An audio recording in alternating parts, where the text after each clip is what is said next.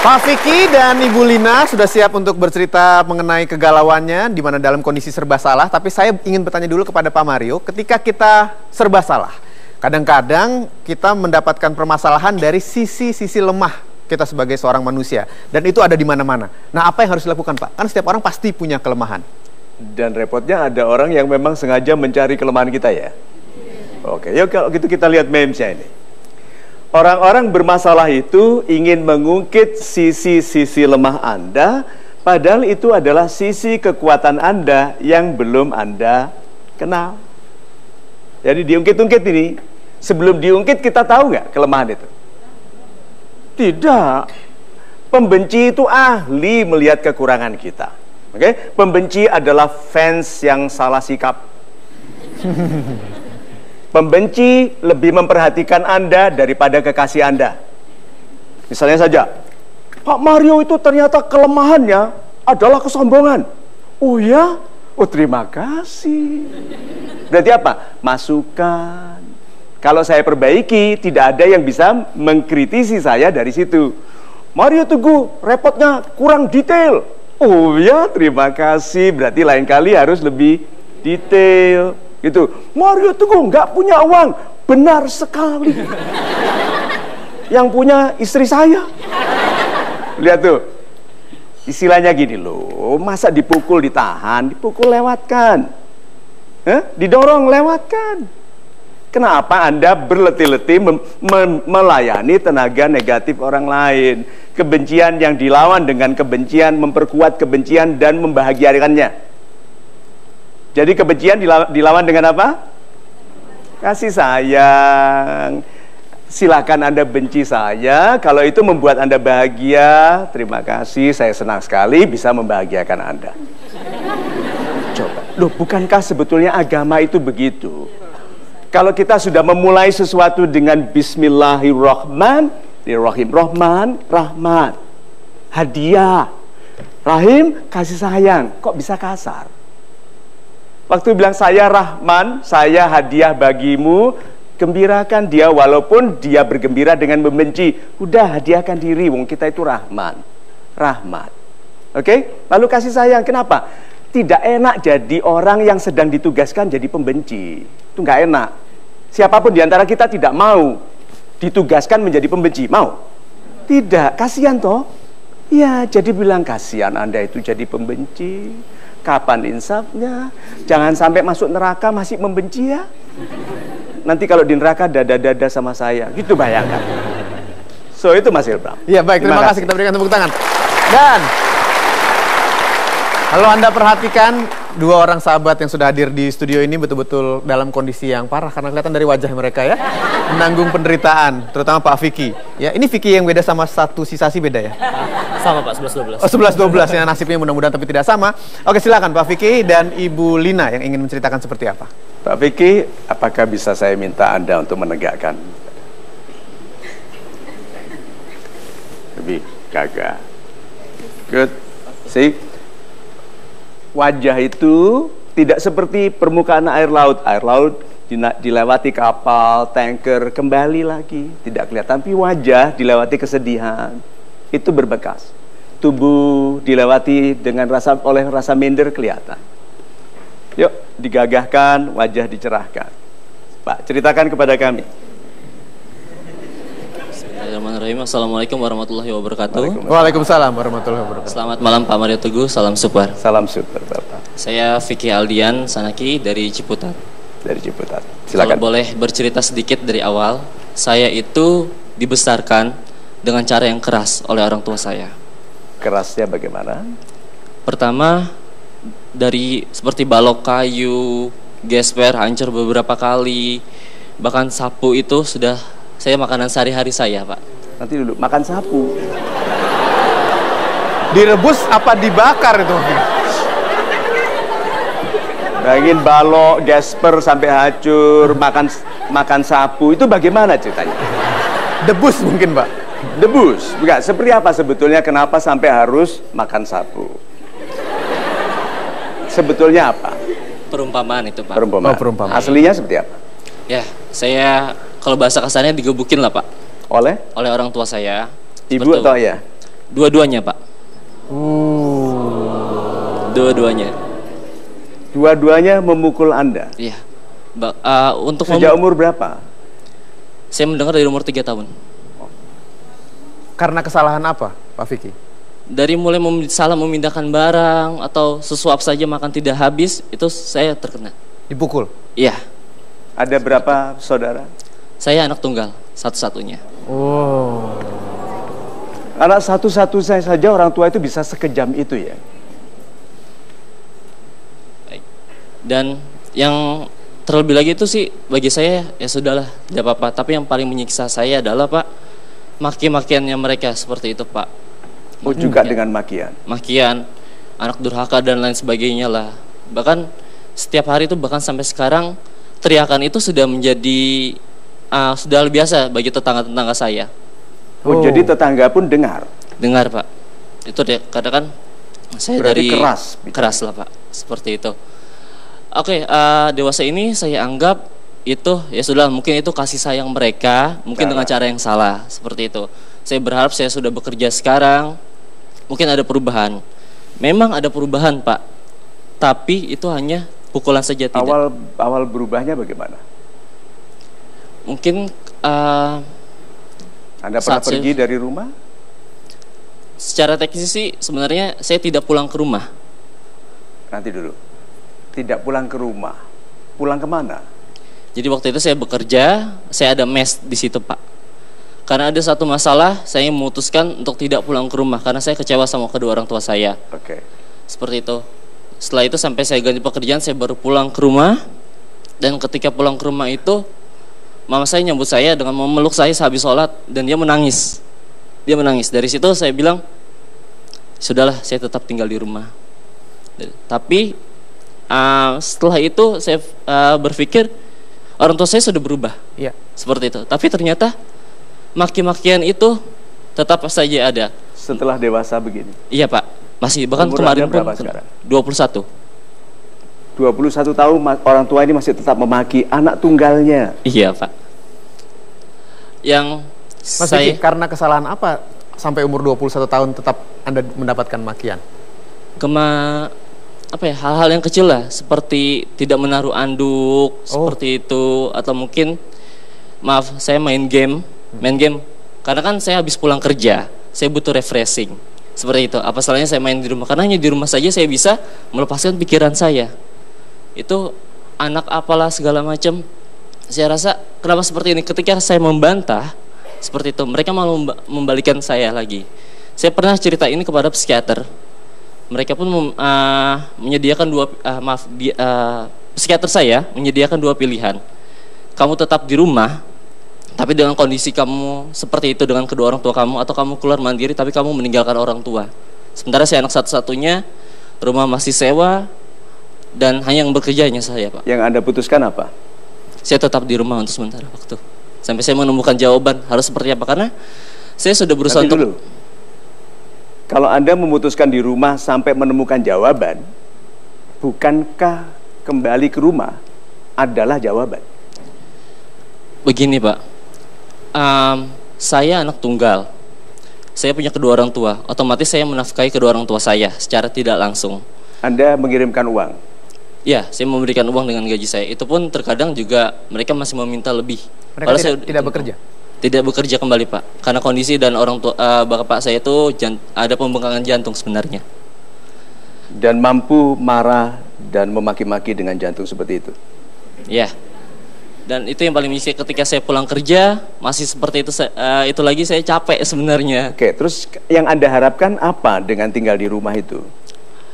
Saya tidak tega Pak kepada orang tua saya meninggalkan saya karena saya hanya satu-satunya anak Pak untuk mereka. Jadi Anda bersedia untuk direndahkan, dihina, disiksa untuk membuat orang tua tetap punya anak. Iya Pak. Ya. Iya. Tapi yang saya pikirin ketika bagaimana kalau misalnya kita eh, saya meninggalkan apakah mereka tidak sendiri lagi seperti itu? Ini serba salah atau sudah salah?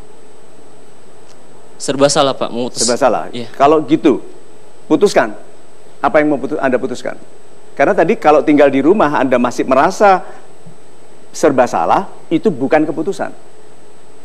Karena selama Anda mulai dari kecil, Anda ingat tiga tahun sudah mulai disiksa, sampai sekarang 21 tahun kan tidak ada perubahan. Tinggal di situ berarti belum ada perubahan. Berarti masih serba salah. Nah salahnya kapan? Seriously, hal seperti ini harus salah loh. Supaya bisa diperbaiki. Itu yang belum saya dapat jawabannya Pak sampai sekarang.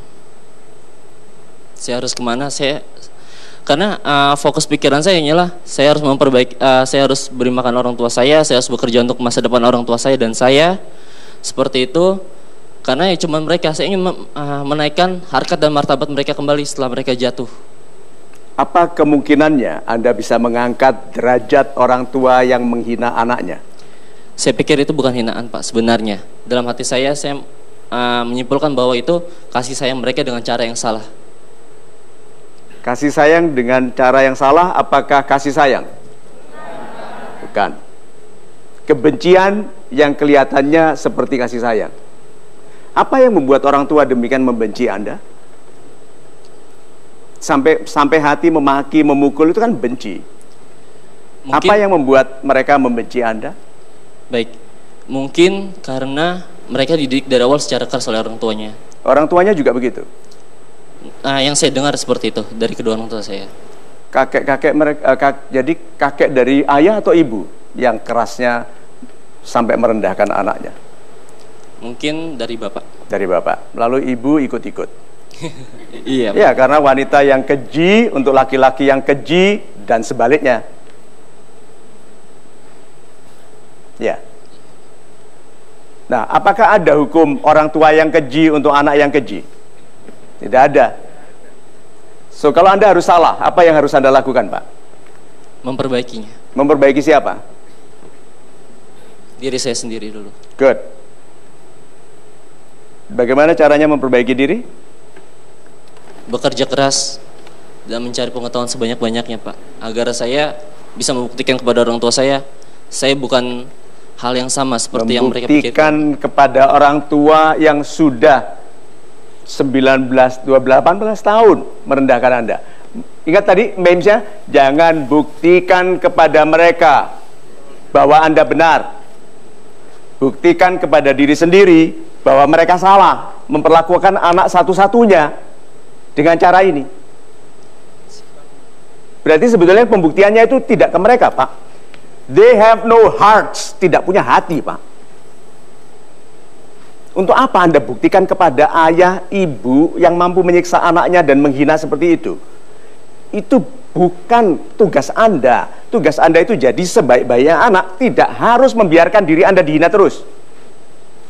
Justru kalau dia tidak di rumah, orang tuanya ada yang dimaki nggak? Gak akan menyelamatkan dosa. Kalau ada bapak, orang tua itu tambah banyak dosa. Iya toh? Jadi ini bapak ibunya bilang, eh anak kita pulang, yuk buat dosa lagi. itu loh pak. Jadi anda di rumah itu membuat mereka semakin berdosa. Kalau anda tidak di rumah, mereka kangen. Bu, mana anak kita ini? Udah lama kita nggak pukul-pukul. sih? Kan Anda cari katanya cari mau peng, cari pengetahuan. Ini sekarang diberitahu bahwa berbakti sebagai anak tidak dengan cara Anda, Pak. Izinkan orang tua hidup dengan cara mereka sendiri, lalu Anda membangun kehidupan yang baik. Anda 21 tahun. Mau menikah umur berapa? 25 atau 27, Pak. 25 atau 27. Kenapa ada rentangnya itu? Kenapa? Uh, pertama, saya hanya lulusan SMA, seperti itu. Dan yang kedua saya akan memiliki keluarga. Jadi dua keluarga yang saya nafkahi. Mau tidak mau saya harus berusaha keras seperti itu untuk Super dua keluarga ini pak saya nafkahi. Keluarga anda dekat nggak nanti dengan keluarga orang tua? Rumahnya dekat nggak? Um, agak jauh pak.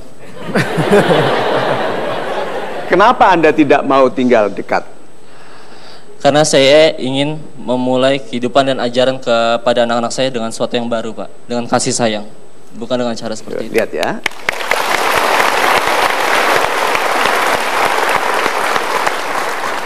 Kalau rumah Anda dekat dan Anda punya anak, sore jalan-jalan, timi, timi, timi di luar, kakek neneknya bilang target baru.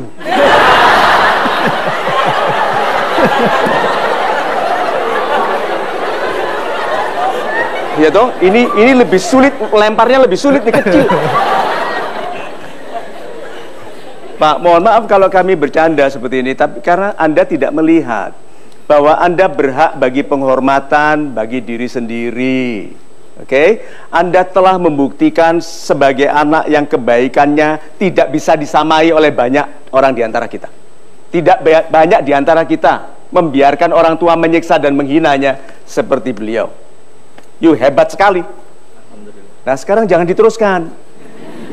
Hormati diri sendiri, buat mereka kangen.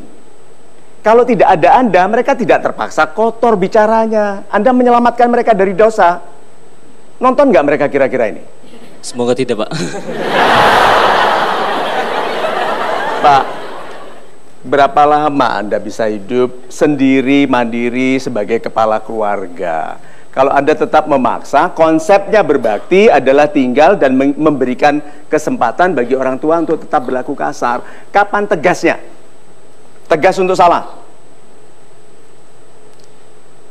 Saat saya sudah memutuskan untuk menikah, kemungkinan. Nanti dulu, memutuskan tegas untuk menikah, kemungkinan. Wanitanya sudah ada. Alhamdulillah sudah ada, Pak. Oh, sudah ada. Kapan? Oh, ada di sini. Ada, Pak. Itu laki-laki. Yang mana? Yang mana? Coba berdiri. Yang mana? Berdiri. Oh, ini.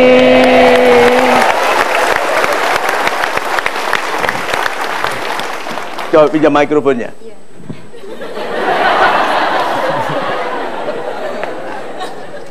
Nama Anda siapa? Coba Anda berdiri. Nama Anda siapa? Saya Meida. Target baru. Meida. Meida, Mbak Meida, apakah Anda sudah tahu perlakuan orang tua Pak Vicky kepadanya? Iya. Sudah tahu. Anda mau tinggal serumah dengan mereka? Enggak. Kalau dia memaksa tinggal serumah bagaimana? Ya, pokoknya bisa aja. Nggak jadi katanya dia bilang. Oke. Okay. So apakah Anda akan taruh Ibu Meida yang baik hatinya, yang lembut ini serumah dengan orang tua yang kasar? Tidak. Good. Jadi Anda akan tinggal di mana?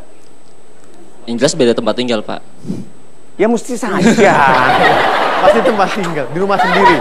Masa tinggal di Bekupon? Tahu Bekupon? Eh, rumahnya burung dara. Di rumah sendiri, Pak. Eh? Di rumah sendiri. Di rumah sendiri, bagus sekali. Terus orang tua tidak setuju? Saya harus tegas, Pak, terhadap itu. Karena itu adalah keluarga saya, Pak. Super sekali. Orang tua nggak setuju? Gimana?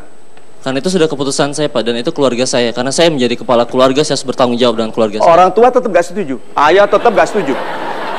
Apa yang Anda lakukan? Kan dia bilang gini, kamu anakku, tetap di sini. Itu target baru, di sini.